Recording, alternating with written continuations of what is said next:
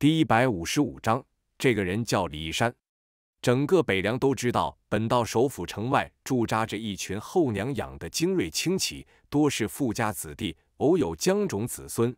父辈们官职也都不高，人数始终保持在八百人左右。因为群龙无首，加上有规矩牵制，这支骑军极少有露面的机会。只有去年才从将近二十标中各自抽调五人，凑足了一百骑，算是走了趟江湖。然后抬回十几条战死袍泽的尸体，再就是从一个叫灰山古牛大港的地方搬回许多箱子的武林秘籍，外界也没怎么留心。这么多年，世子殿下做过的荒唐事还少吗？才八百骑能做什么？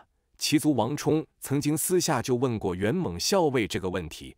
袁猛告诉他，楚禄山楚将军带兵开蜀时，也就两三千人，一样揍得空有连绵天险可居的西蜀魂飞魄散。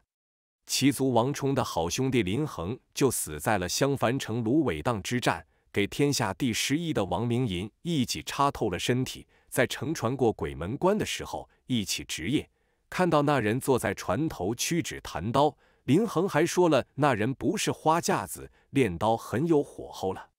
王冲武艺虽说不如总嚷着以后刀法要比顾建堂还要生猛的林恒，但当时还是没信。后来襄樊城外被武林中屈指可数的高手王明银拦到阻杀，亲眼见过了那人的拔刀，王冲终于深信不疑。可林恒却死了。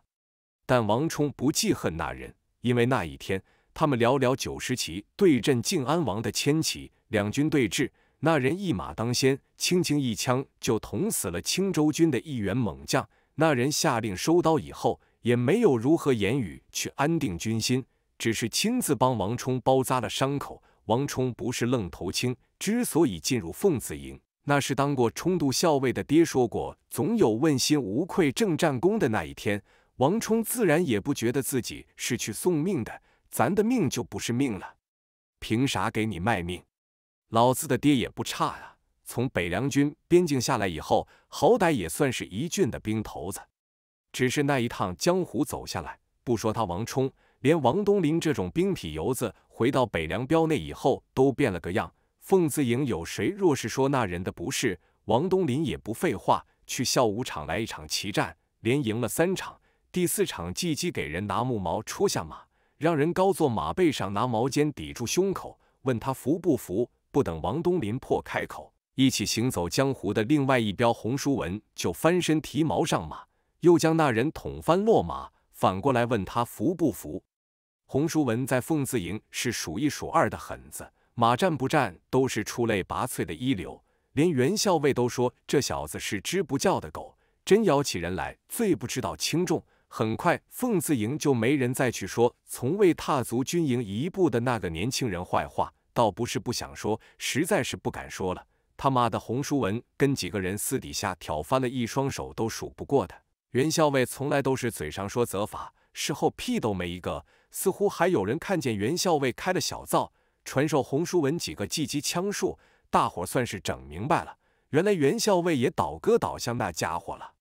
何况那之后，北凉军赫赫有名的大济宁峨眉时不时就逛荡凤字营驻地。专找王冲、王东林这批骑兵，期间还收了两个不记名的徒弟。虽说没有正儿八经认师徒关系，但也差不多了。倾囊相授，短戟制法，闲时还掏钱请这帮上无军功的无名小卒去喝酒，很是让别人眼馋羡慕。谁让那宁峨眉可不是寻常角色，堂堂北凉四衙之一，跟点雄出这等统帅六千铁浮屠精骑的一流实权将军，都是能够平起平坐的。凤字营八百人，虽说目前人心涣散，但谁都对得起腰间那柄北凉刀。论单人单骑的战力，绝对不输给北凉任何一支劲旅。尤其是像红痕子这类斗殴跟吃饭一样的王八蛋，本来早就该去当精锐游弩手了。八百轻骑屏气凝神，安静等待那人的到来。他们只知道要进行一场长途奔袭，杀谁不知，敌人兵马多少不知。战后生死不知。徐骁坐入马车，马夫是那枪仙王秀的师弟韩劳山。陈希亮和小女娃很不见外地，跟着进入车厢。徐北芷被留下进入凉州府城，跟随前往那座王府。他骑马而行，身边有几位气息绵长如江河的年迈护从。马车突然停下，徐北芷突然见到北凉王掀起帘子，朝他招了招手。徐北芷坐入马车，谈不上战战兢兢，却仍是百感交集。眼前这位驼背老人，跟黄三甲一起毁去了春秋大义，更被说成是硬生生折断了百万儒生的脊梁。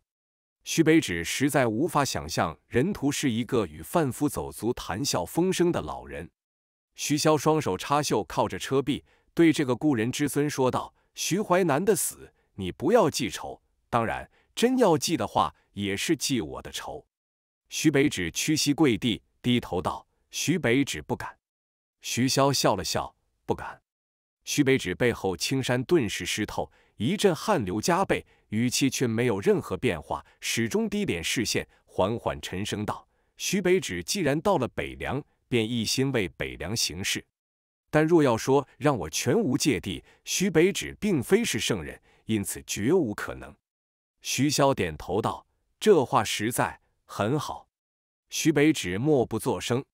徐骁轻声道：“坐着说话，真说起来，咱们还是远房亲戚，以后喊我徐伯伯就可以了。”徐北芷盘膝正襟危坐。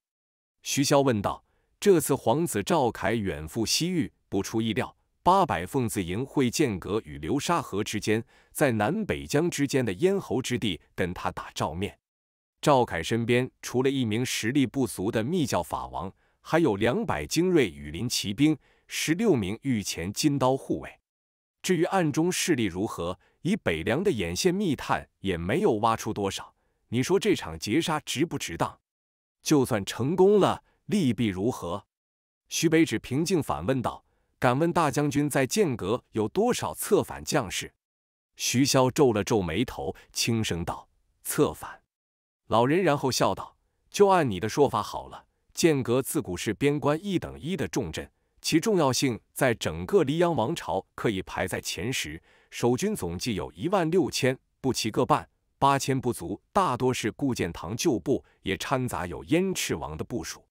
至于骑兵，此时三千骑正好在剑阁以西地带绞杀一股游匪。徐北芷继续问道：“其余五千骑能有多少可以紧急出关？”徐骁说道：“一半多些，一样是三千兵马，但前提是有顾建堂的兵部尚书虎符，用八百里加急传递至剑阁。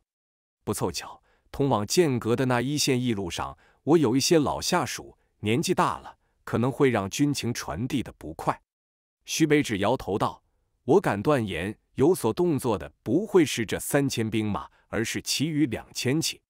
因为就算顾建堂肯下达这份调兵令，京城那边皇宫里也会有某位女子阻拦。”徐骁皱眉道：“哦，谁有这份魄力？”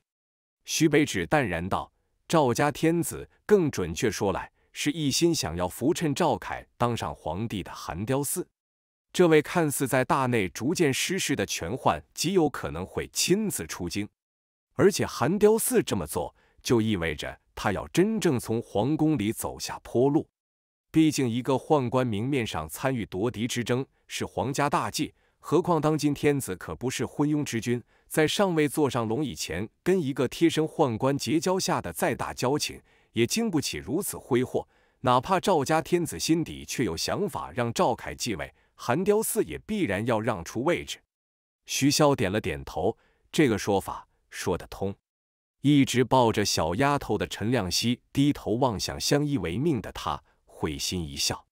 他不知道陈哥哥在笑什么，只是习惯性对他展颜一笑。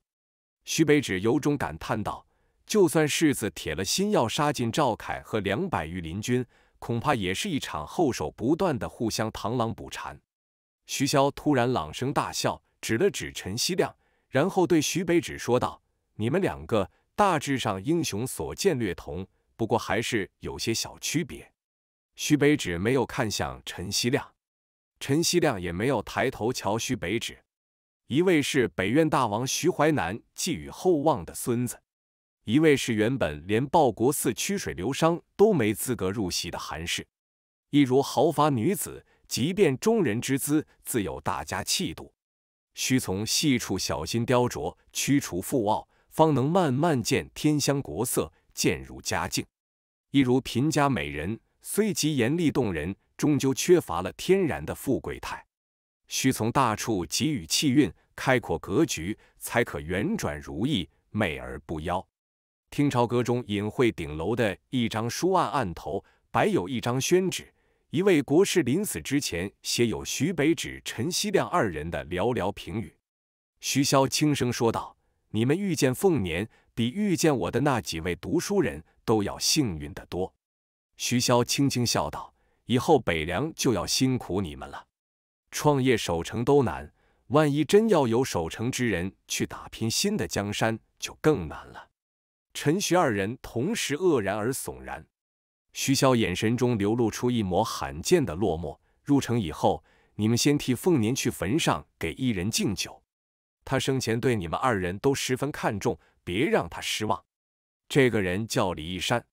一队骑士在不属于驿路上的偏僻小径上轰然而至。袁猛蓦然瞪大眼睛，视线瞬间炙热起来。这名常年被同僚嘲笑的武将，此时甚至连握枪的手都在颤抖。为首一骑士极为风流的公子哥，只是那张本该玩世不恭才对的英俊脸庞上，有着八百白马一从都感到陌生的肃穆英气。左手腰间配有一柄短刀，右边有一柄长剑。第二骑士那黑衣赤足的人，屠次子。如今北莽黎阳，谁人不知龙象郡？谁人不知万人敌徐龙象？第三起是那被称为黎阳王朝军中战力可排前三甲的白熊元左宗。这名西楚妃子坟一战天下知的无双猛将，仅仅带有一柄北凉刀便已足够。第四旗是一名手提长枪的青衣女子。第五旗是一位手臂藏入珠袍大袖。头罩红巾的女子看不清容颜，但鬼气森森，气势竟是半点都不输给元左宗。武旗依次与凤字营擦身而过，元猛率先调转马头，其余轻骑默然紧随其后。